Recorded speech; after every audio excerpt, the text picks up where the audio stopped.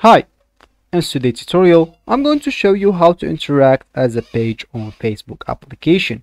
So first of all of course you would like to go and download Facebook application if you don't have it on your phone. Of course if you do ignore that if you don't go download it through Play Store if you're using an Android, App Store if you're using an iPhone or any other store you could be possibly using.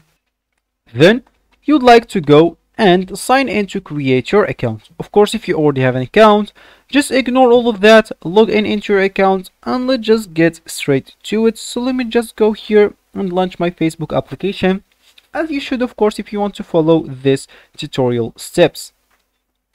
So here, that will actually be your home slash main screen. And if you want actually to change or to interact, sorry, as a page, so to change whether whether you interact as your profile or your page in your group, tap at your profile picture here. So let's just go and tap at that. Then all you need to do, just tap at select profile here. So let me just go here. Oh, sorry.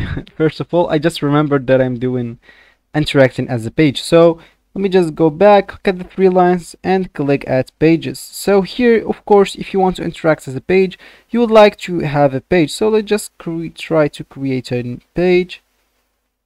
I just do random name here. Here whatever.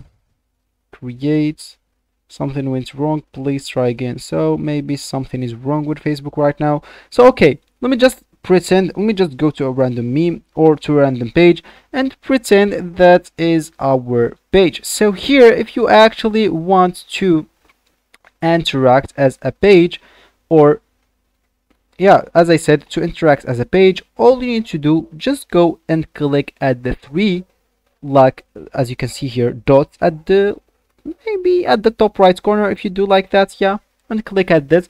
Of course if it's your page you will find here a lot of other options. Of course all you need to do after doing that go and click at notifications. You will find it there. So make sure after clicking at notification something here will appear to you like have global notification settings and etc page interactions. So just go and click at page interactions. Make sure it will you will find it at the bottom of your settings. So after doing that all you need to do just go and disable or enable whatever you want. So if you want to interact or yeah if you want your you auto or to manage your page interaction on facebook you can like there turn off or turn in whatever you want because you will have there a lot of options and you can choose whatever you want from that. So that will be actually for the video. I hope you like it. Thanks for watching and goodbye